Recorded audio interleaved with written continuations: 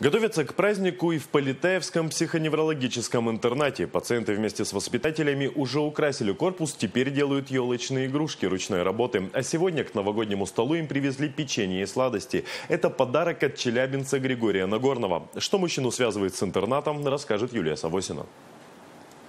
Раньше в этот интернат в Полетаево Григорий Нагорнов приезжал почти каждый день.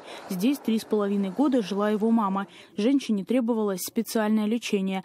И на семейном совете они вместе приняли решение о переезде. Сейчас мамы уже нет в живых, но Григорий вновь приехал в Полетаево. Так как э, здесь очень внимательно и хорошо относились э, к моей маме, я ну, принял такое решение приехать, поздравить Э, весь персонал, живущих здесь людей, как бы ну, чаепитие какое-то им устроить, сладкий подарок, чтобы им это было ну, все-таки весело, приятно, чтобы люди чувствовали, что праздник есть праздник.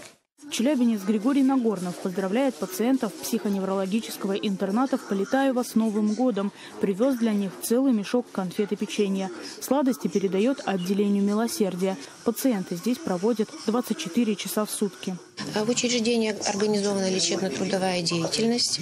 Вот люди, которые могут заниматься рукоделием, вяжут, вышивают. Значит, кроме того, у нас существуют кружки по валянию.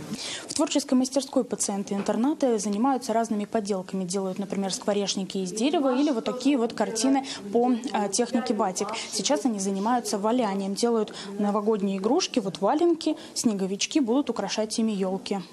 Всего в интернате живет 170 человек. В комнатах по 2-3 кровати стоят телевизоры. Пациенты уверяют, новости на УТВ смотрят каждый день. А еще любят хоккейные трансляции и вчера очень радовались победе трактора. Есть в интернате и библиотека. Здесь больше сотни книг разных жанров. Сейчас в интернате вовсю готовятся к Новому году. Коридоры украсили елками и оленями. А в актовом зале идут репетиции номеров.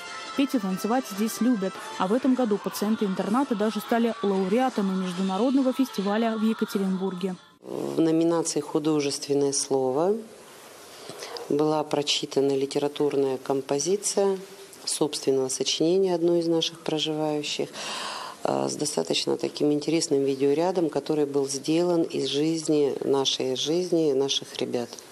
Были представлены в хореографии танцы и сольное пение, вокал. Чай с печеньем и конфетами пациентов ждет 31 декабря после большого праздничного ужина. Юлия Савосина, Евгений Чекалов, ОТВ.